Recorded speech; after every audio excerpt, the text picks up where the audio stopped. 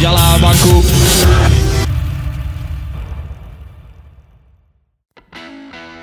Kabar mengejutkan kembali mengguncang jagat sepak bola Indonesia, terutama timnas Indonesia. Nama Marcelino Ferdinand, salah satu talenta muda paling bersinar kini dikaitkan dengan rumor kepindahannya ke klub Liga Thailand. Akun Twitter @indotransfer menjadi pemicu spekulasi ini setelah mengunggah sebuah cuitan yang mengisyaratkan bahwa seorang pemain timnas Indonesia akan bergabung dengan salah satu klub di negeri Gajah Putih untuk musim 2024-25. Dalam cuitannya, akun tersebut menyebutkan empat nama yang menjadi kandidat kuat, yaitu Marcelino Ferdinand, Ragnar Oratmangun, Tom Haye, dan juga Justin Hubner. Lalu, apa indikasinya? Ya, tindakan Marcelino Ferdinand yang tiba-tiba mengikuti akun Instagram back timnas Singapura Jacob Mahler yang baru saja bergabung dengan Muangthong United. Apakah salah satu dari empat pemain yang sempat aku singgung beberapa hari lalu di bawah ini menarik ditunggu? Tulis akun @indotransfer. Kabar ini tentu saja memicu beragam reaksi dari para penggemar sepak bola Indonesia. Sebagian besar merasa kecewa karena Marcelino Ferdinand memilih untuk melanjutkan karir di Asia Tenggara, bukannya Eropa yang selama ini menjadi impian banyak pecinta sepak bola tanah air. Namun tak sedikit pula yang memberikan apresiasi atas keberanian Marcelino untuk merintis karir di luar negeri di usia yang masih sangat muda. Apakah Sintayong memanggil Martin Pes dan juga mengesampingkan Elkan Bagot untuk laga timnas Indonesia versus Arab Saudi di matchday pertama grup C kualifikasi Piala Dunia 2026 zona Asia? Ya, kabar baik menerpa timnas Indonesia sebelum melakoni laga tandang kontra Arab Saudi, yakni pada Jumat 6 September 2024 pukul 01.00 waktu Indonesia Barat. Dibilang kabar baik karena kiper yang ditunggu-tunggu yakni Martin Pes kemungkinan besar tersedia untuk laga melawan The Green Falcons atau julukan timnas Arab Saudi. Hal itu karena sesuai jadwal Martin Pes akan menjalani sidang di Pengadilan Arbitrase Olahraga atau CAS pada Kamis 15 Agustus 2024. Tiga hari berselang atau pada Minggu 18 Agustus 2024 hasil sidang akan diumumkan. Jika data yang dibawa oleh pengacara PSSI lengkap, Martin Pes hampir dipastikan memenangkan persidangan sekaligus berhak pindah federasi dari KNVB ke PSSI. Di saat ada tanda-tanda Martin Pes memperkuat timnas Indonesia, belum ada hilal terkait potensi Alkan Bagot comeback ke timnas Indonesia. Biasanya pemain yang melakukan indisipliner di era kepelatihan Sinteyong diberikan kesempatan kedua. Hal itu asalkan si pemain meminta maaf dan berjanji tidak melakukan kesalahan yang sama. Masalahnya Alkan Bagot juga pernah mangkir dari panggilan timnas Indonesia. Momen itu terjadi medio Juni 2021 yang lalu ketika skuad Garuda hendak melakoni tiga laga pamungkas grup G kualifikasi Piala Dunia 2022 zona Asia. Jadi apakah sudah tidak ada pintu masuk bagi Alkan Bagot untuk kembali ke timnas Indonesia? Menarik untuk dinanti. Striker keturunan yang santer dirumorkan akan dinaturalisasi oleh Romedi, foto bareng dengan dua penggawa timnas Indonesia yakni Ivorianer dan juga Jeitzes. Momen tersebut terjadi setelah laga uji coba antara Venezia FC melawan FC Utrecht. Usai pertandingan ketiga pemain tersebut foto bareng, wajar mereka punya koneksi karena merupakan keturunan Indonesia. Nah setelah foto ketiganya beredar di media sosial, muncul pertanyaan apakah tandanya oleh Romani bersedia untuk memperkuat skuad Garuda? Ya, masih belum diketahui apakah striker berusia 24 tahun tersebut mantap untuk memilih timnas Indonesia. Ia sudah pernah ditawari oleh PSSI, tapi masih ragu. Adapun PSSI belum lama ini mengungkapkan bahwa belum ada striker yang akan diproses untuk naturalisasi. Dan hal ini dikatakan oleh Arya Sinulinga. Artinya oleh Romedi masih jauh dari proses naturalisasi. Walaupun begitu untuk masa mendatang bisa saja striker FC Utrecht tersebut berubah pikiran.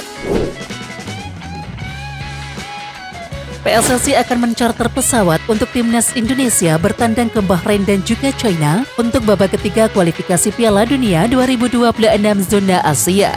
Anggota Komite Eksekutif atau Exco PSSI Arya Sinulinga mengatakan, hal itu karena perjalanan sangat jauh untuk mencapai lokasi pertandingan. Timnas Indonesia akan melakoni perjalanan berat dan juga melelahkan pada matchday bulan Oktober di babak ketiga kualifikasi Piala Dunia 2026 zona Asia. Scott Garuda bertandang melawan Bahrain di Bahrain National Stadium Rifa pada tanggal 10 Oktober 2024. Setelah itu Marcelino Ferdinand dan juga kawan-kawan akan langsung menatap laga kontra China di Qingdao Youth Football Stadium Qingdao pada lima hari berselang.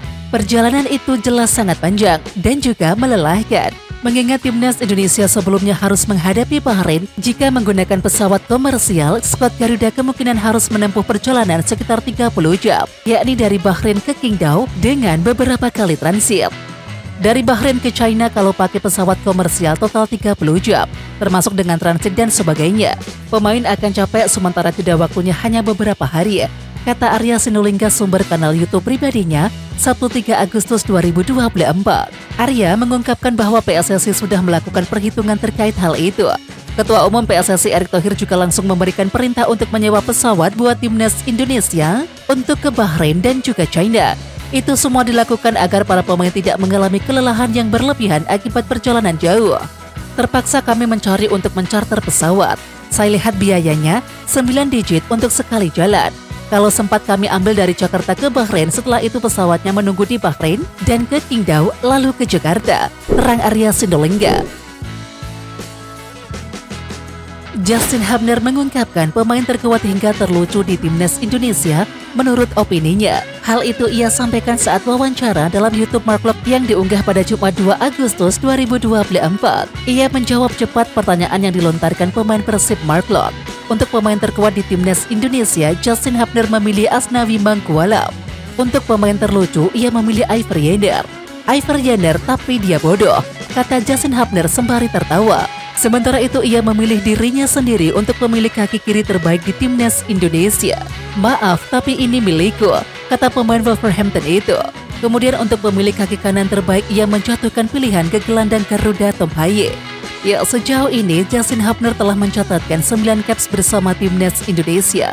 Pemain 20 tahun tersebut juga turut membawa timnas Indonesia lolos ke putaran ketiga kualifikasi Piala Dunia 2026 zona Asia. Bahkan ia menjadi pilihan utama di posisi bek tengah dan juga bermain penuh dalam empat laga terakhir putaran kedua kualifikasi. Sebanyak tiga alasan timnas Indonesia bakal hajar Arab Saudi di kualifikasi Piala Dunia 2026 zona Asia. Sesuai jadwal timnas Indonesia akan tandang ke markas Arab Saudi di matchday pertama grup C, kualifikasi Piala Dunia 2026 zona Asia pada Jumat 6 September 2024 pukul 1.00 waktu Indonesia Barat. Dirangkum Garuda Raya News, Setidaknya ada tiga alasan kenapa timnas Indonesia bakal memenangkan pertandingan di Jeddah. Lantas, apa saja alasannya? Ya, yang pertama Arab Saudi dalam tren yang menurun. Setelah menang 2-1 atas Argentina di matchday pertama grup F Piala Dunia 2022, The Green Falcons atau julukan Arab Saudi kesulitan untuk menemukan bentuk permainan terbaik. Di bawah asuhan Roberto Mancini, Arab Saudi juga hanya menang enam kali, imbang tiga kali dan juga lima kali kalah. Akibatnya, Arab Saudi rontok di babak 16 besar Piala Asia 2023 dan lolos ke babak ketiga kualifikasi Piala Dunia 2026 zona Asia sebagai runner-up grup. Kemudian timnas Indonesia asuhan Sintayong memiliki pengalaman menang di Asia Barat. Momen itu terjadi di matchday pertama grup A kualifikasi Piala Asia 2023. Bertemu tuan rumah Kuwait, timnas Indonesia menang 2-1. Secara materi pemain timnas Indonesia saat ini jauh lebih kuat ketimbang saat mengalahkan Kuwait dua tahun lalu. Dan yang terakhir adalah Arab Saudi sering kalah di kandang. Catatan positif yang dimiliki timnas Indonesia di atas dibarengi dengan rekor buruk Arab Saudi di kandang sendiri. Pernah pada 2023, Arab Saudi kalah tujuh kali dari delapan laga kandang awal yang dijalani di tahun tersebut. Karena itu timnas Indonesia memiliki peluang untuk mengalahkan Arab Saudi di kandang lawan sekaligus bisa saja mempermalukan pelatih sekaliber Roberto Mancini. Jika Arab Saudi kalah dari timnas Indonesia, maka masa depan Roberto Mancini kemungkinan besar langsung dipertimbangkan Federasi Sepak Bola Arab Saudi. Timnas Indonesia bakal kedatangan dua pemain anyar, yakni Tristan Khoye dan juga Eliano Rangers. Jika tak ada aral melintang, kedua pemain tersebut akan segera dinaturalisasi oleh PSSI. PSSI meminta rakyat Indonesia, khususnya para fans bersabar karena Tristan Khoye dan juga Eliano Rangers dipastikan segera merapat. Hal tersebut dikatakan salah satu exco PSSI Arya Sinulinga via kanal YouTube-nya. Lalu siapakah Tristan Khoye dan siapa pula gerangan Eliano Rangers? Sehebat apa sih kedua pemain ini sehingga PSSI hakul yakin kalau mereka tak salah rekomendasi? Ya, masih remaja 19 tahun Tristan Khoye merupakan salah satu talenta berbakat keturunan Indonesia Belanda. Saat ini bek jangkung 185 cm itu tercatat sebagai pemain ayak yang tengah menjalani peminjaman di PIC Zwolle. Defender berdarah Maluku tersebut tipikal back modern yang dimiliki tim-tim Eropa. Selain kuat secara fisik, Rizan Khaye juga dikenal karena permainan taktis serta tanpa kompromi. Ia bisa diandalkan dalam semua formasi yang diterapkan pelatih termasuk bermain sebagai back kanan, back tengah, back kiri, atau sebagai gelandang bertahan. Bakatnya yang luar biasa membawa Trisan Khoye ke timnas Belanda U16 dan juga U18. Namun kalah bersaing ke level selanjutnya. Sementara itu, empat tahun lebih tua dari Trisan Khoye yakni Eliano Rangers juga bermain di Liga Belanda. Ia masih memperkuat PIZ Zwolle klub masa kecilnya.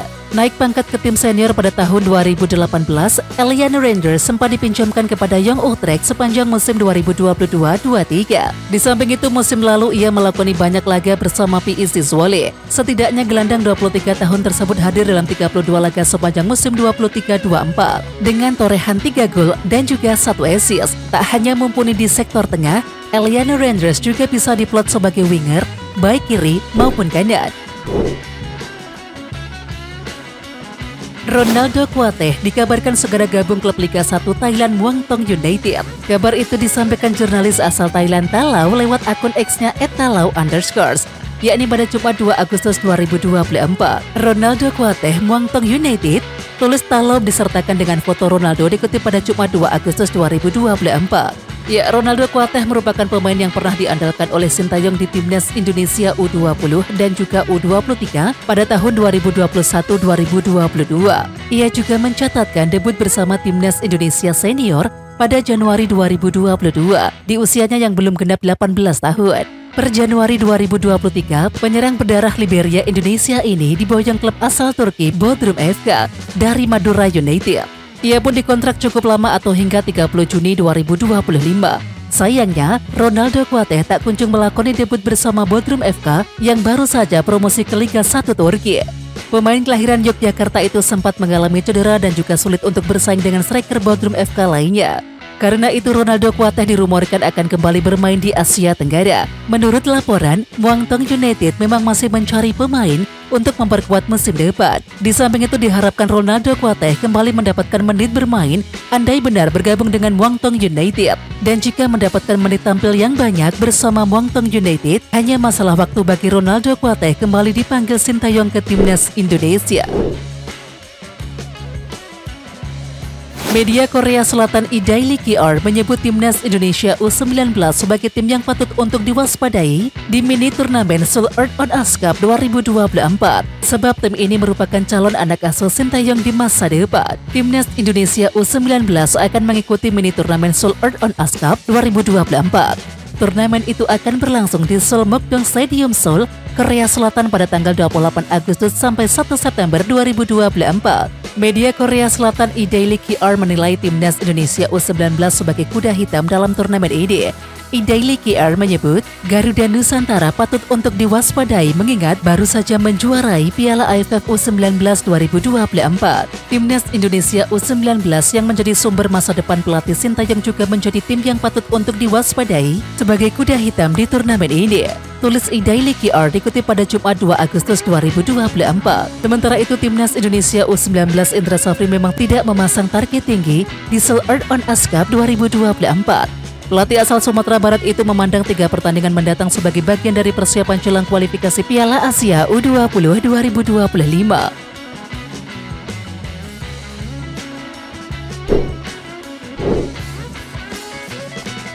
Oke Timnas Lovers, siapa kita? kita Indonesia. Ayo kita dukung terus sepak bola tanah air Indonesia. Jangan lupa dukung terus Garuda Raya Channel dengan subscribe, like, dan komen karena saran dan kritik kalian sangat bermanfaat untuk perkembangan channel ini. Tungguin video selanjutnya dari Garuda Raya Channel. Salam olahraga.